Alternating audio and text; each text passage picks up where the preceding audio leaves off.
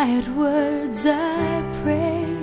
I've been blessed by the simple happiness of the perfect love we've made.